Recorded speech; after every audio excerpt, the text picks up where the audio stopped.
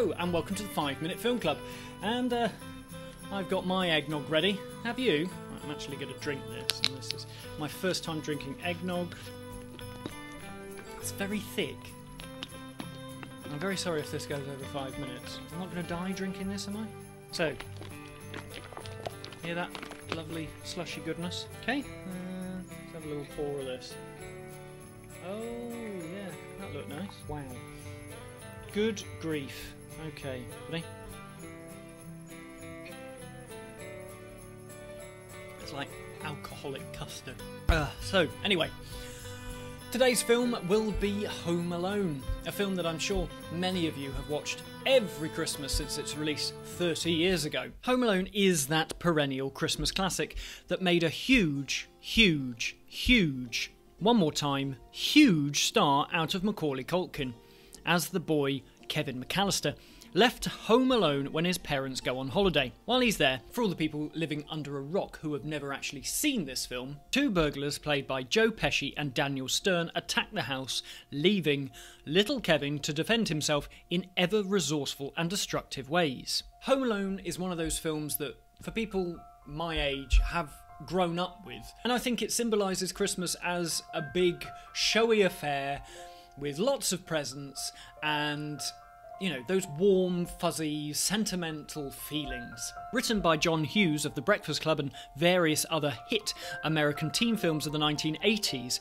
that warmth is something that is always plentiful in his films. His use of quick, snappy, witty dialogue transfers perfectly from those teen films to young Kevin, and Macaulay is a true star. Despite its very glossy look, this film comes from particularly modest beginnings. It was originally set as a Warner Brothers film with an incredibly small feature film budget, but quickly was dropped and picked up by 20th Century Fox before production started, as they knew, inevitably, it would go over budget. In fact, all the way through the filming of this, um, budget just kept being brought up, and yeah, it did creep up. It originally started at 10 million and ended up at 18 million, I think, but every corner that could be cut was and so, director Christopher Columbus, who would later go on to direct the initial run of um, Harry Potter films, um, had to come up with ever increasingly resourceful ways, like Kevin himself, to actually make this film. They got somebody to do the video effects for the film. There isn't many, but it was basically done by somebody in their mother's basement just round the corner. And then they had to tackle filming with a child star who could only be on set for a few hours at a time. One scene that had to be trimmed down is when the furnace comes to life to scare Kevin. And originally, Christopher Columbus had this idea that it would grow legs and chase Kevin across the basement, but you know, obviously it just ended up with two prop hands, you know, and a bit of fishing wire opening up and a light bulb going on. But, you know, those kind of like rudimentary film techniques I think really work in this film. It it does have a feeling of being very homemade with this kind of Hollywood gloss over it that uh, yeah, it's masquerading as something much bigger. And yeah, I, I, really like that about films. And also the wonderful score by John Williams. He was brought in really at the 11th hour. It was meant to be somebody else, and in fact, on the original poster of the film, he's even credited as being the composer of this film. But he was caught up on another project, um, I think it was Rescuers Down Under or something. And so Christopher Columbus got hold of Spielberg to get hold of John Williams, and he rushed in and created I think, a fantastic score. That uh, John Williams' music, anyway, is just brilliant and it really fits the feeling of this film and you can't you can't now separate the two however there was a little bit of frostiness on the set particularly from the adult stars to the young macaulay culkin who was definitely flavour of the month and you've got people like joe pesci who you know just before he started filming on this he had won the oscar for goodfellas and so I think he thought this as being a bit of a step down to make this kids' film. But what's interesting, I think, is that it doesn't feel like a kids' film. It's pitched at a family audience, and I think that's probably the first time a big Hollywood film, you know, modest Hollywood film, even, you know, didn't just go all kiddie friendly on its films. It, it wanted the whole family to come along and really take something away from it.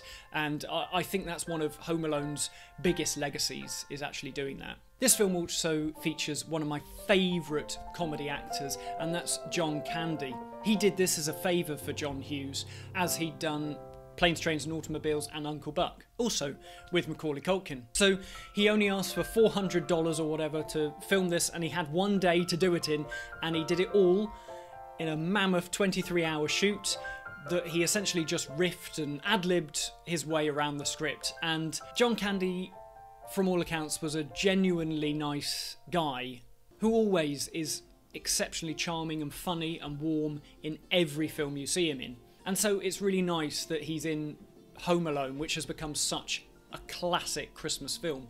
Um, so you can see him being very funny every single year, and I, I think that's another reason why I really enjoy Home Alone. Watching this film this time with the kind of reviewer's hat on, this is a reviewer's hat for anybody out there wondering what it looks like. And I, I think I was struck by how well this film has actually aged. It feels like it's kind of trapped in a little time bubble that's just Christmas, you know, a Christmas 90s time bubble, along with the uh, Coca Cola uh, truck advert, which actually, you know, they both employ the same kind of film language. They look very similar. This film. Despite all the chat going on while they were making it between the studios about how much was being spent, it took a bundle at the box office and ended up spawning four films, two that were direct to DVD or TV, and actually there's another one in the works now um, for Disney Plus. So, anyway, Merry Christmas, everyone. Um, eggnog at the ready, and cheers to you all. I hope you're able to have a good Christmas, or the best one that you can possibly have given the circumstances of this year.